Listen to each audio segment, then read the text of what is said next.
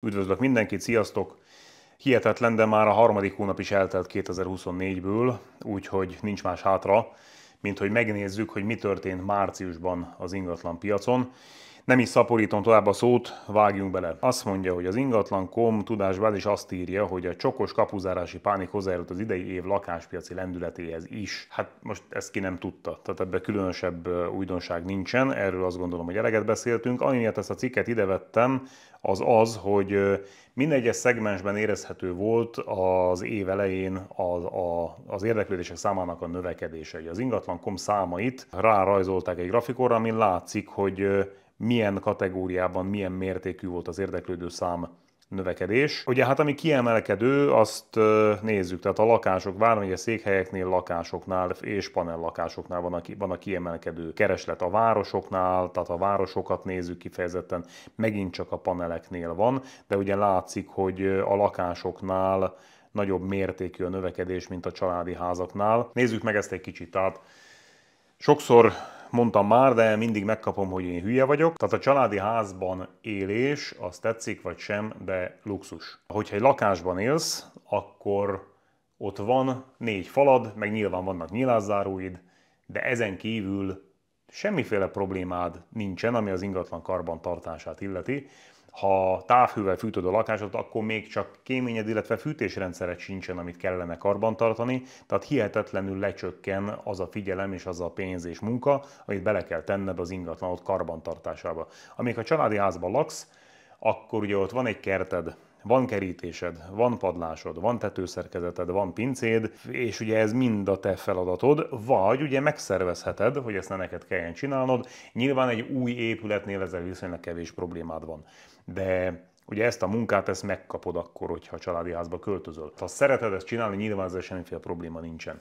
De ha nem, akkor meg ugye ezt meg kell szervezned, vagy ne adj Isten, mondjuk már idősebb vagy, és ezt nem győzöd, hát akkor az megint egy óriási probléma lesz. Szóval nyilván, ha valakinek családja van, gyerekei vannak, akkor egyértelmű, hogy, hogy a sokkal jobb, hogyha van egy kert, ahová ki tudod csapni a gyerekeket, és ahol ők tudnak játszani, és ha jól tudjátok érezni magatokat. Nyilvánvalóan nem azt mondom, hogy rossz családi házban élni, nekem, én, én is családi házban nőttem fel, én is oda vágyom vissza, tehát igazából én is azt mondom, hogy családi házban jó élni egyébként, de azt mondom, hogy az viszont tendencia, hogy a lakások iránt nő a kereslet, mert sokkal többen képesek megfinanszírozni egy lakásban való lakhatást, mint egy családi házban való lakhatást.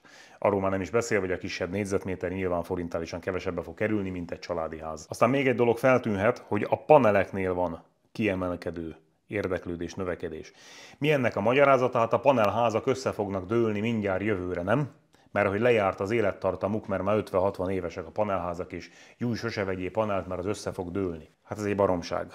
Tehát egyrészt nem fog összedőlni a panelház, mert a vasbeton egy állékony szerkezet. Tulajdonképpen vannak nem hogy 50-60 éves, hanem több száz éves fa szerkezetből épült házak is vannak a világon, amik nagyon, nagyon nem akarnak összedülni. Igazából minden épület szerkezetnél a kérdés az a karbantartás, tehát hogy milyen mértékben tartod az karban. Ja, hadd nem emlegessem a vályokházakat, amikből szintén léteznek 100-120 éves verziók. A karbantartás fogja meghatározni a te ingatlanodnak az élettartamát. Azok a házak, amik ilyen régi parasztházak, amik lerobbanva állnak, például Hajdúbiharban, vagy, vagy ugye az emlegetett Nógrád és Borsod és Szabolcs vármegyékben, azok, hát jó, tehát olyan jellegű épületek nyilván nincsenek Svájcban, de ugye azok az életkorú épületek Svájcban tökéletesen karbantartva, csilli-villin, mai kor igényének megfelelően vannak és vannak lakva, mert ott érdekes módon van igény, van pénz, van hozzáértés ahhoz, hogy hogy kell egy épületet karbantartani.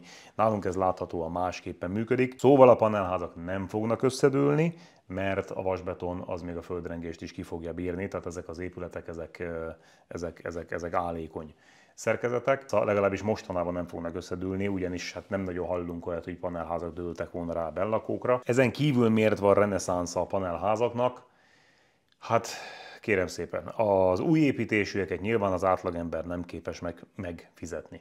A, egyszerűen a négyzetméter árak miatt, mert másfél milliós négyzetméter árat azt a magyar átlag már nem tud megfizetni. A belvárosok, azok gyakorlatilag mostanra kiürültek, befektetők vásárolják fel a belvárost, Airbnb lakások, iroda lakások, és egyébként bérbeadásra szánt lakások vannak, hotelek, stb. Tehát a belvárosban már nem tudsz normális értelmezhető lakóingatlant venni, de ugye ezt a Covid is megzavarta egy kicsit, mert ugye a Covid-nál kezdődött a belvárosoknak a kiürülése. És ugye, tehát ahogy mondtam, befektetők felvásárolják. Akkor mi az, ami marad az átlagembernek, hogyha egy normális infrastruktúrát szeretne, ahol van a környéken iskola, óvoda, játszótér, esetleg egy zöld terület, metróállomás, stb., akkor mi marad? Lakótelep. Szóval ezek az épület együttesek annak idején jól kilettek találva. Most az, hogy ez küllemre milyen, meg hogy proli, meg mit tudom, ezeket a hülyeségeket hagyjuk, azóta is teszik a dolgukat. Tehát most arra ugye a lakótelepek 60 évesek körülbelül, de azóta is teszik a dolgukat, és a pótlásukra gyakorlatilag nincs alternatíva. Szóval még jó darabig velünk maradnak a lakótelepek, senki ne aggódjon egy pillanatig se. Na hát azt írja a Concord blog, hogy az ingatlan piacon nagyon jó lehetőségek lesznek a beszállásra. Hullókések időszakában vagyunk, amikor teljes a bizonytalanság, senki nem tudja, hogy hol tartunk a folyamatban, nem lehet megmondani, elértük-e már a lejtő alját, vagy innen még mindig lefelé vezet az út. Tehát az elég pessimistán hangzik, hát nyilván itt főleg ipari ingatlanokról van szó, tehát iroda, ugye ha létezik ciklikus iparág, akkor az ingatlan mindenképpen az. Ebben a ciklikusságban évtizedeken keresztül a befektetés eszközök között az iroda jelentette a stabilitást, aminek az volt a mondás, hogy ez az az alszektor, amit semmi nem rengethet meg. Na hát ugye a Covid tette ezt a dolgot zárójelbe, és ugye azt írja, hogy az irodák kihasználtsága az USA-ban csak fele a járvány előtti színnek, de Európában és Ázsiában is körülbelül kétharmada annak. Szóval az iroda és ipari ingatlan piacon elképzelhető, hogy lesznek jó beszállók. Hát mi elsősorban lakó ingatlanokról beszélünk, úgyhogy menjünk tovább ezen a nyomon.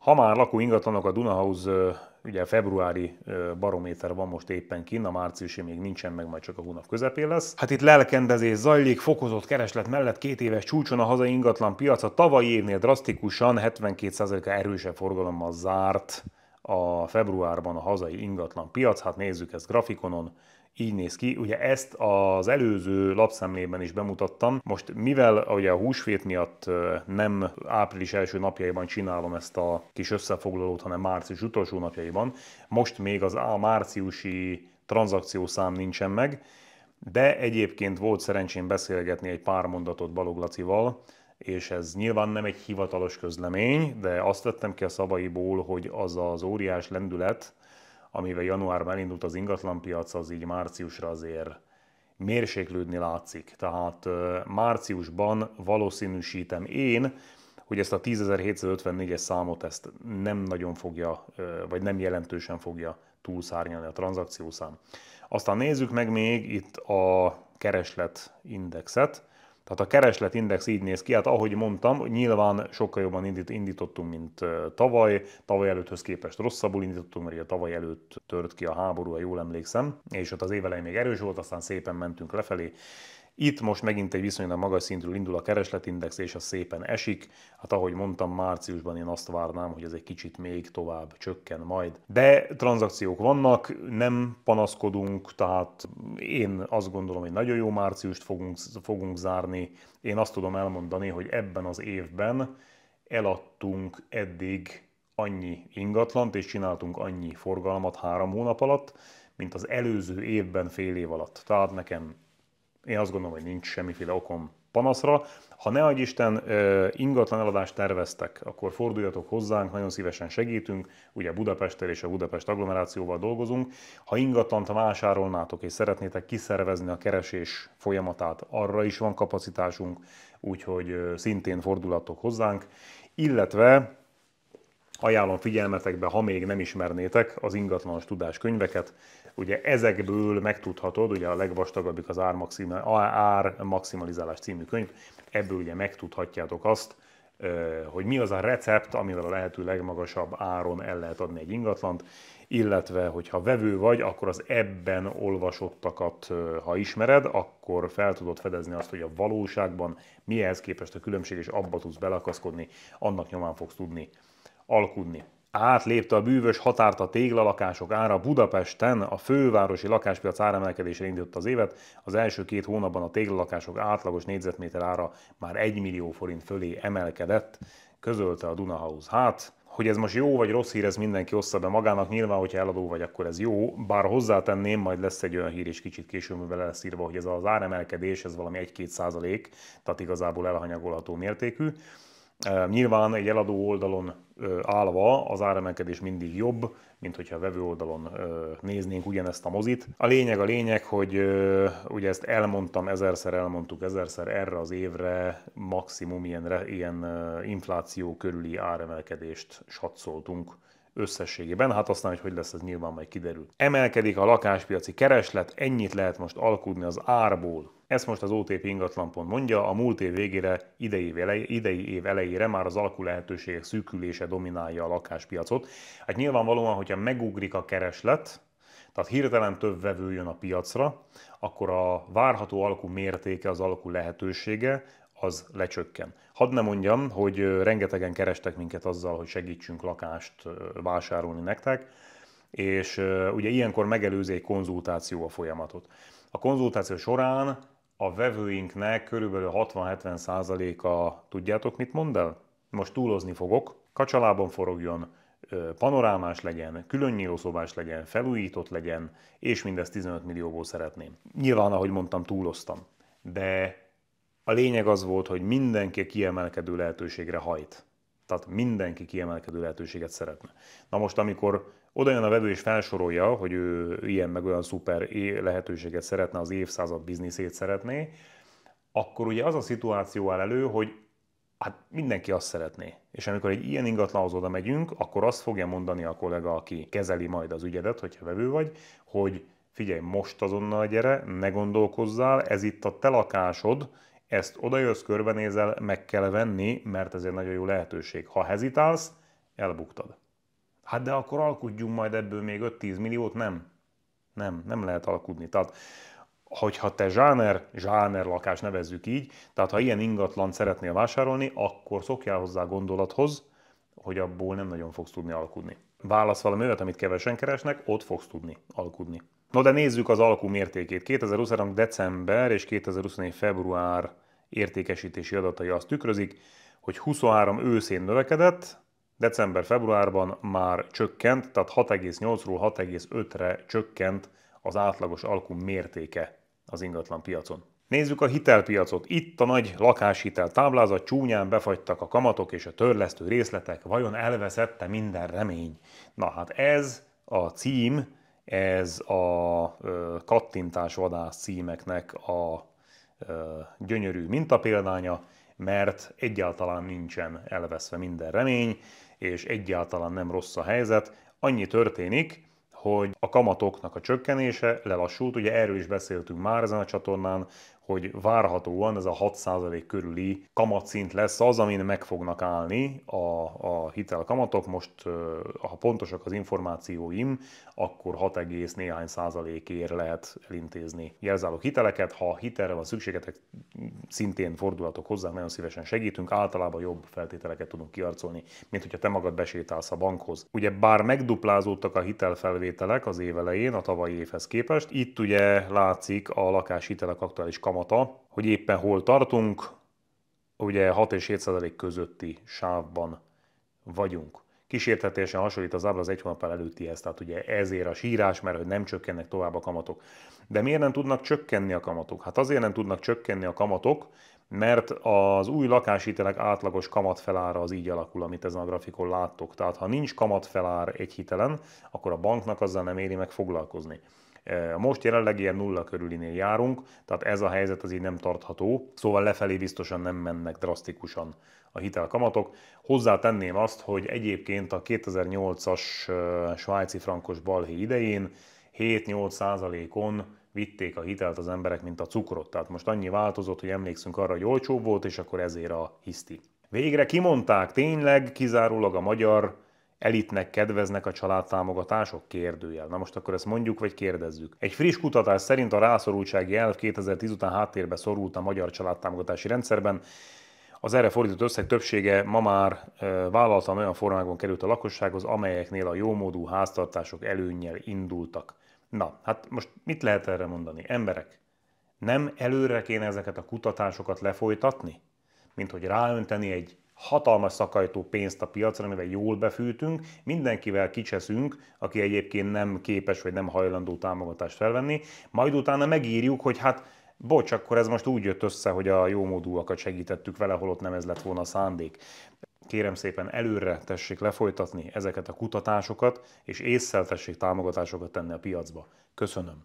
Az albérlet piacról néhány aktualitás. 2015-höz képest megduplázódtak az albérlet árak februárban.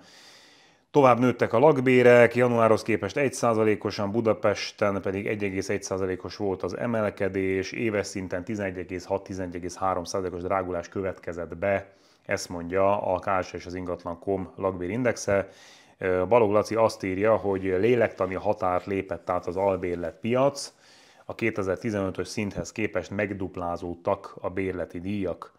Hát ugye 2015-ös szinthez képest az ingatlárak is meg nem duplázódtak, hanem sokszorozódtak, tehát ki gondolta volna, hogy akkor a bérleti díjaknak is emelkedni kellett. Ugye ezen a grafikonon látszik, hogy hogy állunk a lakbérekkel. Az a helyzet, hogy én azt valószínűsítem, hogy a bérleti díjak tovább fognak menni, mert ugye emelkednek a fizetések. De az, hogy valakinek a fizetése 400-ról 450 ezerre emelkedik, attól neki nem lesz 10 millió, 15 millió önereje egy ingatlan vásárláshoz. És általában ugye ez a probléma.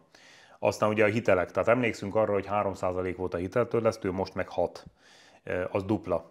Tehát ott tartunk, hogy körülbelül azért az összegér, amiért egyébként a hiteledet tudnád törleszteni havonta, azért tudsz kibérelni egy ingatlant, és hát ugye manapság az, hogy majd leélünk egy életet egy ingatlanba, az nem szokott opció lenni, tehát lehet, hogy jövőre már Svájcban fogunk lenni, utána meg majd Ausztráliában, meg ki tudja, hogy hol, és ugye ezért hát sokkal jobb is, ha nincsen kötöttség.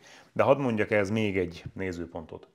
Amikor 2015-ben, 14-ben megindultak a lakásárak felfelé, és kilőttek, és mondjuk te lakást akartál venni, és nem lépted meg, mert arra számítottál, hogy na majd akkor leesnek az ingatlárak, és nem estek le. Akkor így nézted kívülről, hogy ó, basszus, hát tavaly kellett volna vásárolni. Elárulom, hogy most is ez lesz. Tehát az előző cikkek egyikében már beszéltünk arról, hogy az alkú, a potenciális alkú az már is csökken, mert hogy az érdeklődő szám növekszik a piacon. Na most, amikor tavaly éppen a hát idézőjelben a levél se és arról szerintem volt is arról szó, hogy emberek most kell vásárolni egyébként, hát akkor is jöttek a kommentek, hogy én vagyok a hülye. Na hát jó, én lehet, hogy hülye vagyok, de most akkor megint elmondom, hogy ingatlant vásárolni azért kell, akár hitelből is, mert amikor van egy ilyen változás a világban, kvantitatív easing pölö, és befűtenek az összes eszköz, eszközosztálynak, többek között az ingatlannak is, akkor az a kérdés így 2024-ben, hogy te benne voltál ebbe az emelkedésben, vagy nem. Mert ha kívülről nézted, hát akkor írhatod a kommentet, hogy mindenki köcsög, akinek pénze van nem tudok mit csinálni. Tehát arról nem beszélve, hogy a, az ingatlan az nem más, mint egy betonba és téglába fagyott tőke. Tehát azt egy pénzügyi pufferként használhatod, azt gondolják az emberek, hogy ez kötöttség, nem igaz. Bármikor ki tudod adni, vagy rá tudod bízni egy kezelőre, mert ugye vannak már ilyen cégek Budapest szerte. Szóval attól függ, hogy hogy gondolkozol az ingatlanodról, az nem feltétlenül okoz neked kötöttséget. Viszont vagyont azt jelent neked. Tehát ha dönteni kell, hogy bérelni vagy vásárolni, akkor én egyértelműen mindenféleképpen a vásárlást javasolnám. De hogy ne legyen annyira sötét a jövő, márciusban 187 ezeres lakbér támogatás indul, áprilistól pedig újabb, újabb állami támogatást igényelhetnek a fiatalok. Március közepétől fél éven keresztül lakhatási támogatást, támogatást igényelhetnek a munkába álló regisztrált álláskeresők, áprilistól pedig ifjúsági garancia plusz program indul, a munkahelyet találó 30 alatti fiataloknak. Na, hát ugye a lakhatási válságot kezelendő, végre jön egy olyan támogatás, ami erre irányul. Én ezt abszolút támogatom, és remélem egyébként, hogy ennek az lesz az eredménye, hogy nem minden fiatal dönt majd úgy, hogy elmegy itthonról. És akkor lakhatási válság vonalon, lakhatási válság ellen ingatlanokat kezel majd a fővárosi lakásügynökség. Na, szóval a főváros létrehozta a fővárosi lakásügynökséget, ami közhasznú lakáskezelő szervezet, és ugye az lesz a lényege, hogy, hogy ingatlanokat adjon bérbe, tehát kezeljen bérbeadott ingatlanokat. Azt írja, hogy Európa több nagyvárosához hasonlóan lakhatási válság van, és ugye ennek a megoldására hozták létre ezt a bizonyos szervezetet, és azt mondja a Karácsony Gergő, hogy tulajdonképpen az elmúlt 30 év legnagyobb lakhatási programját tudja a főváros megvalósítani. Hát ezt hogyan és mind gondolják, az egy nagyon jó kérdés. Itt ugye írtak olyat, hogy az üresen álló lakásokat akarják megmozdítani, meg akár a gyengébb minőségű lakásokat is várják. Hát ugye megnéztem a weboldalukat, amin nem sok minden van, még állítólag áprilisban lesz ezen több információ. Célunk egy új lakhatási modell kiépítése. Az unió fővárosai közül a bérekhez viszonyított lakás bérleti árak Budapesten legmagasabbak. Hát ez nem igaz, mert Varsóban magasabbak, Prágában magasabbak, és azt hiszem Zágrában is magasabbak, de oké. Okay. Az ingatlan kezelő együttműködés, magánszemélyek, magánlakások hasznosítása, kezelése, stb. stb. felújítás, nem lakásszerű ingatlan funkcióváltó felújítása, eszközkezelés, további ajánlatok folyamatos kidolgozása hát ez nesze semmi. Volt itt egy érdekes, tehát várják a lakástulajdonosok jelentkezését, garantálják, hogy minden hónapban hozzájutsz a bevételethez, átvállalják ugye a fenntartás, stb. stb. Hát lapozgatom itt a feltételrendszert, itt eléggé hiányos, mert majd ugye április végén lesz készen. Van itt egy érdekesség, minden lakásról értékbeslés készül, az általunk neked fizetendő bérleti díjat ez alapján a lakásügynökség céljaira tekintettel csökkentett díjon határozzuk meg. Hát nem tudom, ki csinálta ezt az oldalt, de ez mekkora óriási marketing már emberek. Tehát kíváncsi lennék, hogy kik lesznek azok a bérbeadók, azok az ingatlan tulajdonosok, akik örömmel odaadják majd a lakásukat úgy, hogy ők csökkentett bérleti díjat fognak kapni a lakásügynökségtől. Én tudom, hogy karitatív, meg hogy a lakhatási válságot kéne kezelni, stb. stb., de emberek ez így nem fog működni. Tehát ha nem piaci árat fizettek, a tulajdonosoknak, az ingatlan tulajdonosoknak, akkor miért válasszanak titeket? És miért ne adják ki külföldi diákoknak, vagy Airbnb-n, vagy mit tudom én? Na mindegy. A lényeg, hogy a kezdeményezés az üdvözlendő, és nagyon remélem, hogy, hogy sikerül a lakhatási válságot enyhíteni. Ez mindannyiunk érdeke lenne, azt gondolom mert én, én hiszek abban, és nekem az a véleményem, hogy Budapesten tök jó élni és tök jó lenni, és nem lenne feltétlenül szükséges mindenkinek elköltözni a fenébe, és ha többen maradnának itthon, vagy többen döntenének úgy, hogy itthon dolgoznak és teremtenek, akkor előrébb lennénk mi mindannyian, mint magyar nemzet, hogy egy kicsit magyarkodjak. De ha esetleg a magyar fiatalok úgy döntenek, hogy elmennek, semmi probléma, mert lesznek itt oroszok, irániak és beloruszok, mert hogy jön az aranyvízum. Tehát volt már ilyen itthon, Uh, ugye néhány évvel ezelőtt uh, néhány tízezer euró fejében lehetett állampolgárságot venni, cserébe ugye ingatlant is kellett vásárolni, és a többi, és a többi. Ez volt az úgynevezett aranyvízum, mikor nem kérdeztek semmit, nem kapta egy letelepedési engedélyt, sőt, még nem kellett itt eltölteni az évnek a felét, vagy ki tudja mennyit sem, és ugye most megint ez van tervben, azt mondja, hogy már tavaly novemberre kiderült, a magyar kormány a program újraindítását fontolgatja, a törvénytervezet pedig januárban életbe is lépett. Hát ugye kiürülőben van a kassa, tehát kellenek a gazdag oroszok, meg a gazdag irániak, szóval ki kellett találni valami okosságot, amivel ide lehet csábítani gazdagokat. Ugye mi ebben a buli? Hát az a buli, hogy aki Európai Uniós lesz, az az Európai Unió területén belül alapíthat vállalkozást, jöhet-mehet, vámunió van, határok nincsenek, és a többi, és a többi. Ez egy harmadik országból érkezőnek, akinek ráadásul pénze is van, igen értékes dolog lehet. Az Európai Parlament azt mondja, hogy az uniós állampolgárság nem árucikk. Hát ehhez képest ugye Portugáliában, Ausztriában és Görögországban is van ilyen, hogy aranyvízum, nyilván nem teljesen úgy, mint ahogy itthon tervezik. Hát ez a nem árucikk, úgy néz ki, hogy mégiscsak árucikk, mert ugye jó pénzért, akinek lóvéje van, annak adunk állampolgárságot. Hát most nem tudom melyik a rosszabb, hogy ez-e, vagy amikor jönnek a zöld határon keresztül a mindenféle nigériai, meg szír, meg nem tudom milyen menekültek, a fene tudja. De a lényeg, hogy lehet, hogy gyakorolni kell az oroszt. Amivel hozzátenném, hogy nem biztos, hogy van probléma, és most nem politizálni akarok, én nem vagyok én orosz simogató, meg semmi se, de azért egy dolgot jó lenne, ha tisztán látnánk. Tehát mi itt Magyarországon, mi nekünk halvány lila gőzünk nincsen arról, meg úgy általában a nyugati világnak, ahol halvány lila gőze nincsen arról, hogy így, így ugye kelet felé úgy, úgy ott van még valami. Tehát most Ukrajnát csak azért tudjuk, mert benne van a hírekben. Korábban az átlag magyarnak halvány lila lövése nem volt szerintem arról, hogy ott keletre, ott van egy olyan ország, amit egyébként Ukrajnának hívnak. Meg úgy egyébként, tehát létezik Dél-Amerika, létezik Afrika, Ázsia, tehát milliárd ember lakik ott, és bizony nem mindenki csóró, meg nem mindenki kommunista, meg nem mindenki idióta, meg nem mindenki barbár. Tehát Ezeken a helyeken is van óriási gazdagság, csak egy kicsit másképp képzelik a dolgokat, mint mondjuk a nyugati világ. Nem, nem mondtam, hogy most oda kell tartozni, de azt sem mondom, hogy feltétlenül a nyugathoz kell tartozni, és mindent benyalni, amit Amerikából ide öntenek. Csak azt mondom, hogy szerintem, ha az embernek széles a nézőpontja, akkor mondjuk el tudja dönteni, hogy neki mi az, ami szimpatikus, és merre fele szeretne mozdulni. Vissza az ingatlan piachoz, kimozdultak a holdpontról lakására idén februárban, tehát folytatódik az élénkülés, a múlt évben gyengén teljesítő, teljesítő lakáspiacon. Az országos ingatlan.com lakásár index februárban 2,6%-os éves drágulást mutat, havi szinten pedig másfél százalékos volt az ár emelkedés. Tehát ez azért nem olyan óriási nagy, tehát ez, ez inkább a plusz nulla kategória. Tehát az ilyen 1 meg 2 százalék emelkedés az inkább a plusz nulla, szerintem.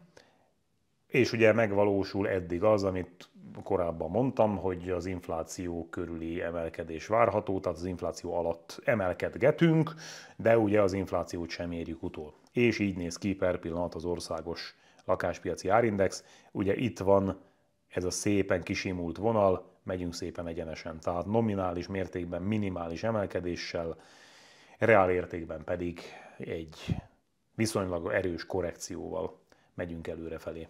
Balog Laci szintén azt írja, idén lassú enyhe áremelkedésre számítunk, jelentős és robbanásszerű drágulás egyelőre kizárt. Lehetnek viszont lokációk, térségek, ahol az országos átlagnál nagyobb növekedés lesz, mind árakban, mind pedig adásvételekben. Budapesti asztalt lakó ingatlanok és házak átlagos négyzetméter árai, hát ugyanúgy Budapesten van, az brutál. De még mindig látszik, hogy van a 20. kerület, 21. kerület, 23. kerület, ahol egészen olcsó lehet ingatlanhoz jutni, tehát mondjuk a harmadáért annak, amiben az ötödik és első kerületbe kerül egy ingatlan. És hát ahogy mondtuk, hogy léteznek majd olyan települések és olyan lokációk, ahol más lesz az ingatlanpiac dinamikája, van, ahol a lakosság szám és az ingatlan árak is kiugróan növekedtek 2023-ban.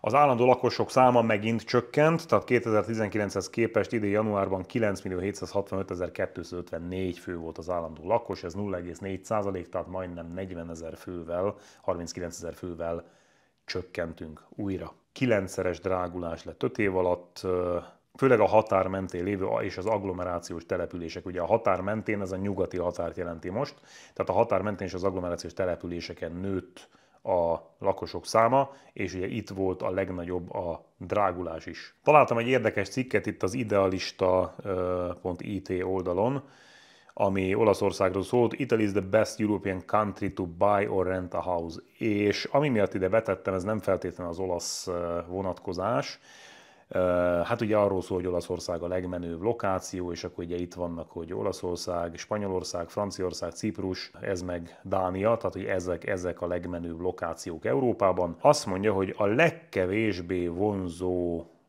ország vételre, vagy pedig bérlésre, ki van az első helyen? Hungari. És az oka ennek nem más, mint az iszonyú áremelkedés, amit produkáltunk az elmúlt években. Pénzcentrum azt írja, hogy rosszul jár, aki továbbra is kivár az adásvétellel, kérdőjel, így alakulhatnak a kamatok és a lakásárak. A lényeg, hogy érdemi emelkedésről, tehát áremelkedésről nincsen szó az ingatlan piacon, ugyanakkor a hitelkamatok esésével sem lehet számolni. Tehát, hogy azzal lehet számolni, hogy most hosszabb, rövidebb ideig ez a szituáció így fixálódik az ingatlan piacon, tehát akkor mi a francnak halogatnád a vásárlást? Mert ugye az van, hogy ez a szituáció most látszik, ez most van, de valami történik a világban. Te tervezed, hogy na majd akkor ekkor és akkor, és, a, és amikor valami, valami történik, és mondjuk meglódulnak megint az ingatlanok, akkor már késő lesz. Ezért írja a cikk, hogy nem érdemes halogatni a lakásvásárlást. Én is azt mondom, legyél tulajdonos. Miért nem épülnek lakások Budapesten. Magyarországon egyre kevesebben élnek, de Budapest agglomerációja töretlenül hízik, az emberek vidékről Budapestre költöznek, nyilván itt vannak a lehetőségek, itt vannak az egyetemek, tanulni, dolgozni, stb. Tehát ez, ez egy sok évtizedes tendencia, sőt, szerintem évszázados tendencia. Magyarországon a lakhatás óriási probléma, ezt is tudjuk, igen. Azt írja, hogy 3 millióan a lakhatási szegénységben élnek Magyarországon, túlzsúfolt háztartásokban, szigetelés nélküli felfűthetetlen lakásokban, jövedelmük nagy részét kell kifizetniük albérletként, vagy pedig túl sokat kell ingázniuk. Hát igen, ez, ez bizonyár, minden bizonyal így van, ugyanis Budapest és agglomeráció az ugye a 30% alakú ingatlan, tehát 70% az nem Budapesten él. Nyilván van még néhány lokáció, ami menő, de, de az ország nagy része az, az, az igen, tehát ott érdekes viszonyok vannak. Ezt tudjuk. Azt mondja, Budapest megtelt, hát igen, ezt is tudjuk. Na szóval nézzük, hogy miért nem, épülnek, miért nem épül elég ingatlan. Egy, nincs telek. Tehát azokon a helyeken, ahol lakáshiányos környezet van, ott nyilván mindenben van építve. Ami, ami, ami pedig van, üres telek, ott Hát most gondoljunk bele, Budapest belvárosában van egy üres foghítelked valahol, mondjuk az ötödik kerületben. Az neked olyan pénzt hoz pusztán attól, hogyha ráteszel egy parkolót, hogy igazából hülye leszel eladni, tehát ezek a telkek általában, amik vannak, a tulajdonosaik, ezeket nem hajlandók értékesíteni. Szóval építési telek pedig nincs. Szociális problémák, ez mondjuk úgy fordítható, hogy nem mindenhol éri meg építeni. Ugye itt most például a 8. kerület Magdolna negyedet hozza fel ez a cikk, Hát van itt hajléktalan szálló, meg mindenféle jótékonysági szervezetek központja, csövesek az utcákon, stb. stb. Ezért hát nem szívesen költöznek oda az emberek. Ilyen módon nem éri meg odaépíteni, bár lokáció szempontból nagyon jó a környék, és szerintem azért szépen lassan épül be a környék, de hát ott a hajléktalan szállónak meg kell majd szűnni előbb-utóbb, mert ez így nyilván nem fog menni.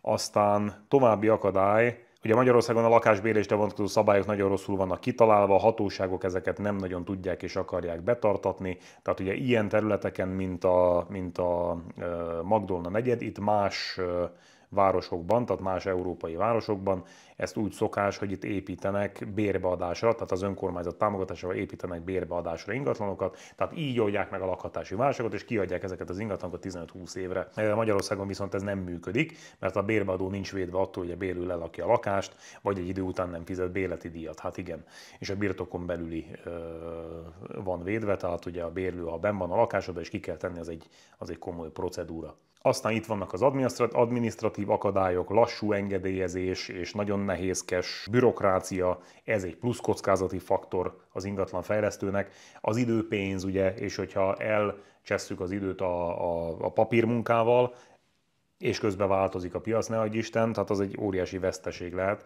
mert ugye itt nagyon sok milliárdokról beszélünk.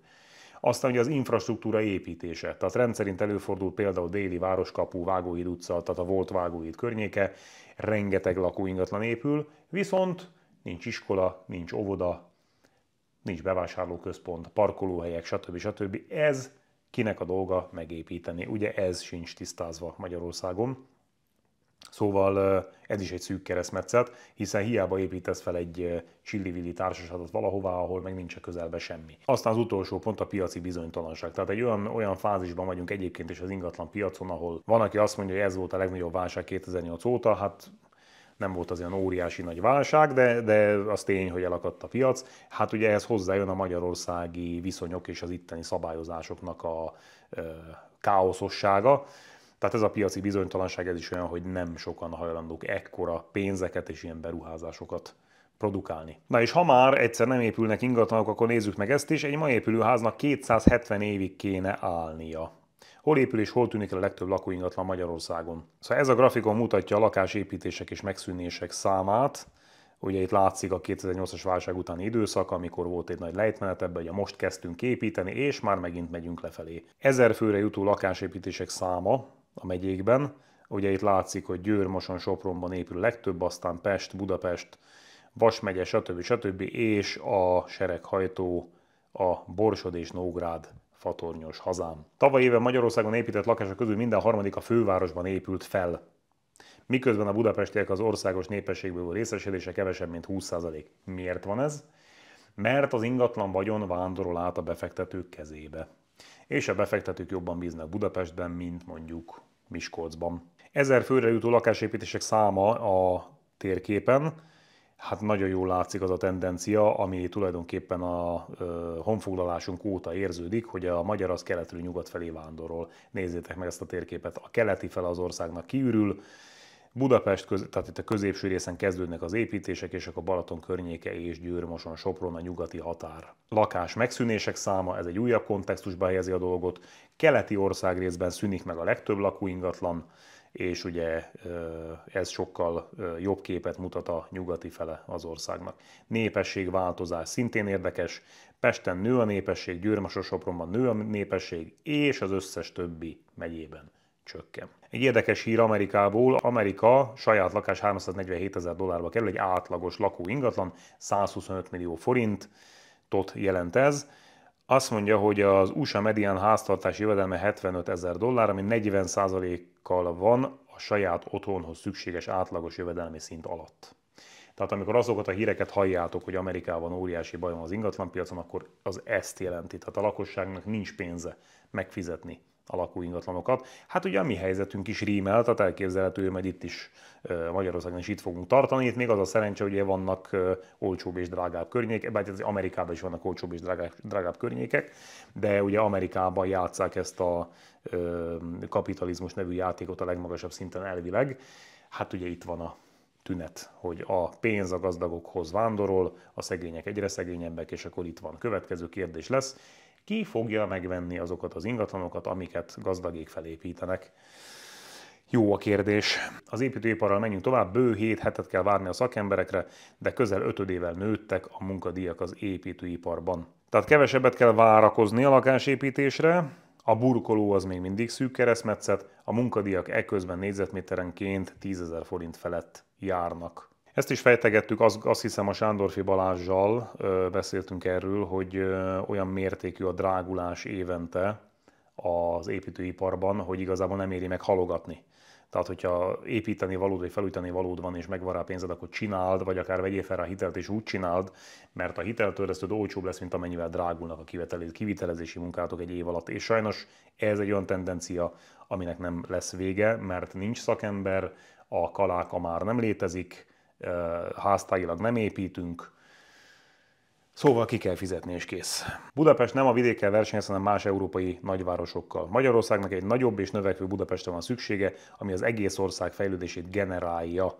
Ma viszont nem ez a helyzet, a főváros népessége, népessége rendszerűen csökken. Hát ez ugye a Covid óta a tendencia, hogy költöznek kifelé. Én azt gondolom, majd megfordul ez, tehát ez általában meg szokott fordulni. Szerintem el fog jönni az a pont, amikor majd ez visszájára fordul. És azt mondja, Budapest nem vidékkel versenyez, hanem más európai nagyvárosokkal, mert hogy tulajdonképpen lehet, tehát a Budapest ingatlan árából tulajdonképpen bárhová mehetsz most már, úgyhogy ezt én is igaznak érzem ezt az állítást. Az ingatlan szakma mostanában kapja az ívet, mert ugye először volt a, a először a kiszólt be először a, várjál, a Zsozé atya szólt be először, utána Dancsó szólt be, és akkor most tele van az összes ingatlan csoport azzal, hogy jaj, vajon mi a baj a szakmánkkal? Mert hogy jaj, hogy az ingatlanosoknak milyen rossz híre van emberek. Az ingatlanos szakmának, amióta én az eszemet tudom, én 16 éve foglalkozom ezzel, azóta ez egy tapottat nem változott, tehát az ingatlan szakmának mindig rossz híre volt. És hogy mit lehetne tenni? Tudod, mit lehetne tenni?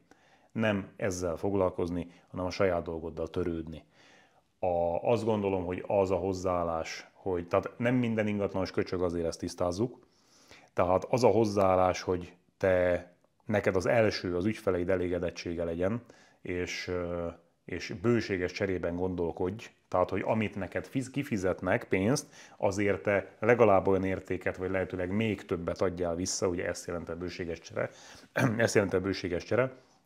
Ha így gondolkozol, akkor hogy egyébként az emberek mi a francot mondanak, az úgyis mindegy lesz.